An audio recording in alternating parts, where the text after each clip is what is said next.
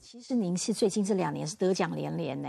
前中研院院长翁启惠难得上节目，和民事新闻传播群副总胡万林面对面开心畅谈，因为他和中研院团队研发出广效疫苗，可对抗不同变异株。用糖分子研发出来的广效疫苗，都可以对付这些变不同的变异株吗？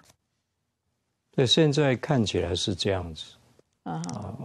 我我想是广效疫苗的意思，就是一个疫苗可以对付不同的变异株。在十几年前就开始啊研发那个针对流感的这个广效疫苗。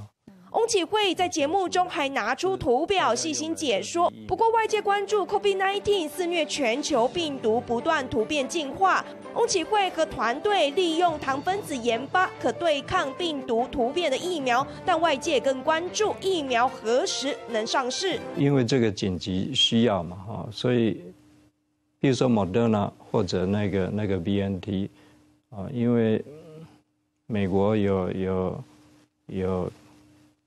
有成立这个所谓取数行动计划。那假如我们这个也也走向这个取数行动计划，当然就会很快速的，啊，呃，一一两年就有可能。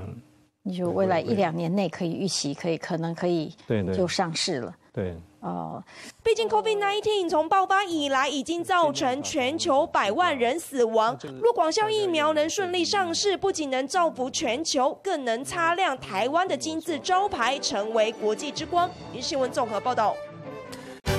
更多精彩新闻，请下载 App 订阅《民事新闻网》。